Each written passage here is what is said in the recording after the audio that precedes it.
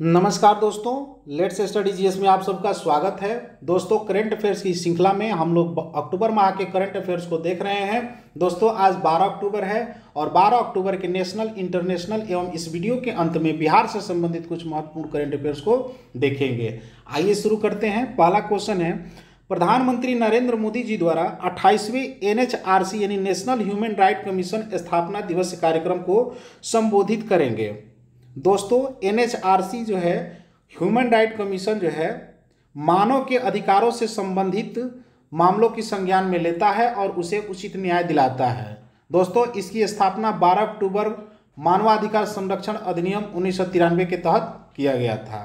दोस्तों, वीडियो अच्छा लगता है तो लाइक से हम सब्सक्राइब करें। साथ में बेल आइकॉन बटन को भी दबा लें ताकि मेरे द्वारा डाली गई कोई भी सूचना आपको आसानी से मिलती रहे।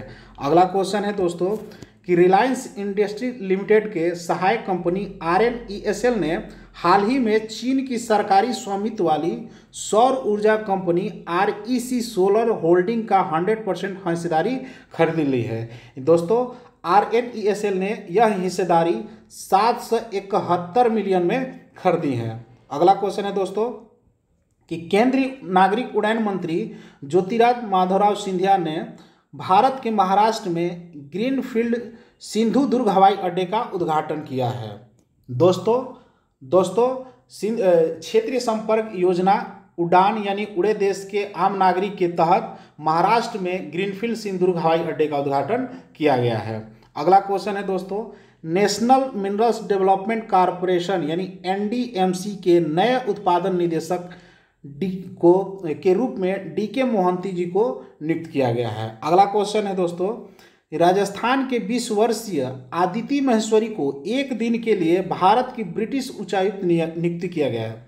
दोस्तों, महिला सशक्तिकरण को बढ़ावा देने के लिए इसी तरह के उत्तराखंड उत्तराखंड में एक दिन के लिए मुख्यमंत्री के रूप में सृष्टि गोस्वामी को नियुक्त किया गया था। अगला क्वेश्चन है दोस्तों कि कोविड नाइन्टीन जोखिम के वजह से Bharat Bharat Birmingham Commonwealth game से हॉकी प्रतियोगिता से बाहर हो गया है।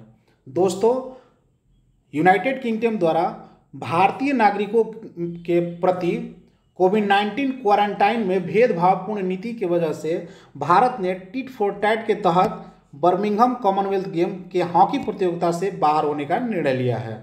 अगला क्वेश्चन है दोस्तों फिनटेक कंपनी भारत पे ने पोस्ट पे के लॉन्च के साथ बाई नाउ पे लेटर श्रेणी में प्रवेश की घोषणा की है। दोस्तों बाई नाउ यानी पहले खरीदे, बाद में पे करे की नीति। फिनटेक कंपनी ने भारत पे के साथ शुरू किया है।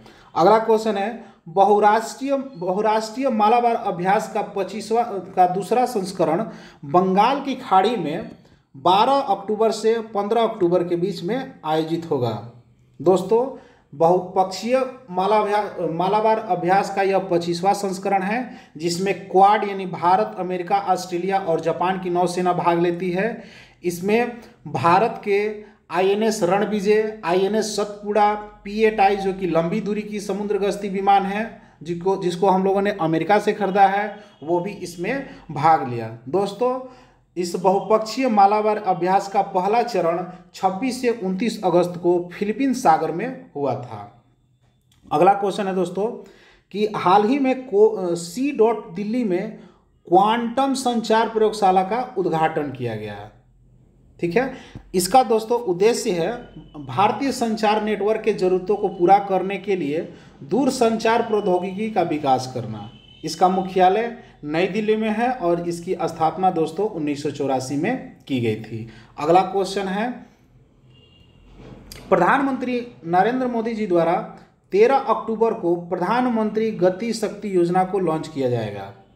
दोस्तों, यह योजना की घोषणा जो है, स्वतंत्रता दिवस के अवसर पर की गई थी। यह योजना जो है, राष्ट्रीय बुनियादी ढांचा के लिए एक मास्टर प्लान के रूप में कार्य करेगा और साथ ही अर्थव्यवस्था को एकीकृत मार्ग प्रदान करने में सहायता करेगा। इसके लिए दोस्तों, इस योजना में हंड्रेड रुपीज़ लाख करोड़ की राशि को निर्धारित की गई है। अगला क्वेश्चन है दोस्तों, कि त्योहारों के दौरान कोविड पर, कोविड नाइन्टीन पर अंकुश लगाने के लिए मिशन सौ दिन की शुरुआत की गई है। तो मिशन सौ दिन का संबंध किससे है? तो कोविड नाइन्टीन पर अंकुश लगाने के लिए। अगला क्वेश्चन है दोस्तों, हाल ही में फिक्की ने भारत के जीडीपी 9.1 प्रतिशत रहने का अनुमान लगाया है। तो 9.1 प्रतिशत का अनुमान किसने लगाया है भारत के जीडीपी का? फिक्की ने। अगला क्वेश्चन है दोस्तों, कि दक्षिण मध्य रेलवे पर पहली बार दो लॉन्ग हॉल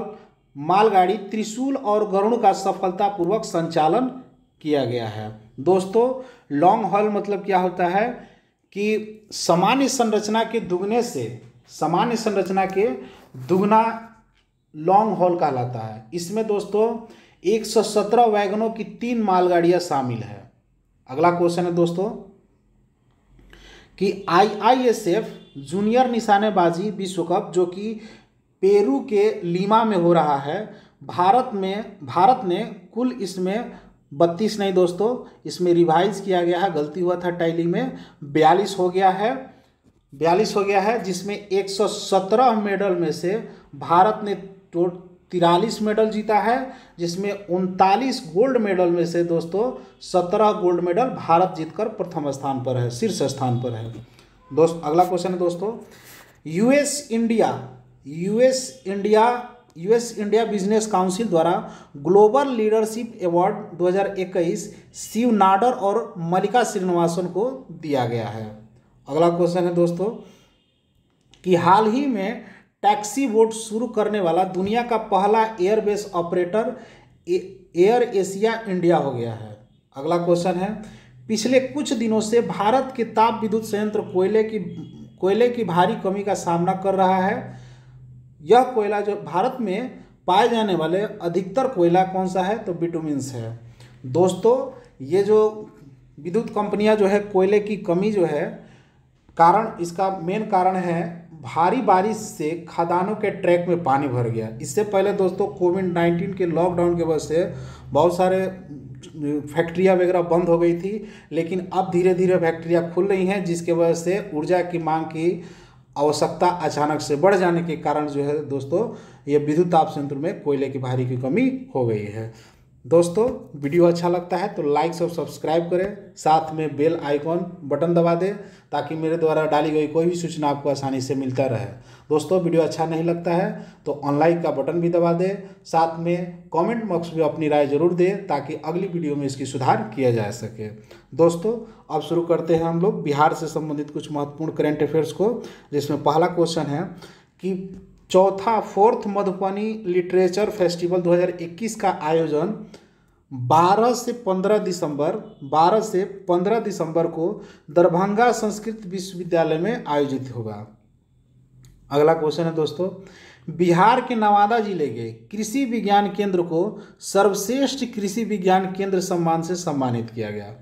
अगला क्वेश्चन है दोस्तों, कि पटना ट्रैफ़िक पुलिस ने ट्रैफ़िक नियम तोड़ने पर आंशिक रूप, आंशिक ट्रेनिंग के बाद ही गाड़ी की कागजात देने की बात कही है।